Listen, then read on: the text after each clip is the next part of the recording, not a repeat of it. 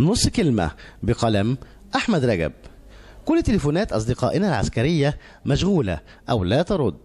ومصطفى حسين وأنا معنا تذاكر دخول قصر القبة ولكن ليس معنا إذن لمن يجر المقاعد المتحركة. وقررنا عمل بروفة فوقعنا بالمقاعد المتحركة. وكلما استوقفنا به محترم لا يسمعنا للآخر بل يتصورنا مسؤولين نريد النصب عليه في قرشين.